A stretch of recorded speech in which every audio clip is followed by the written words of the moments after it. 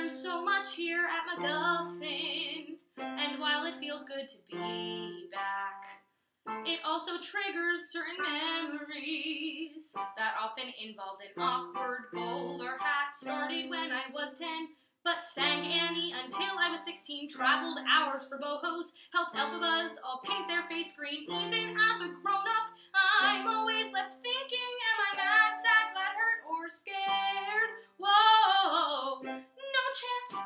no way, don't you dare touch that prop. With each set change, stacked more boxes on top. At summer camp, don't you dare wear flip flops.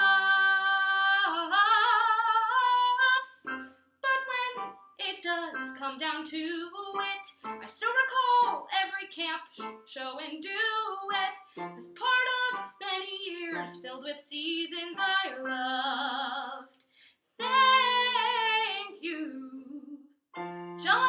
And all, for this place that I love.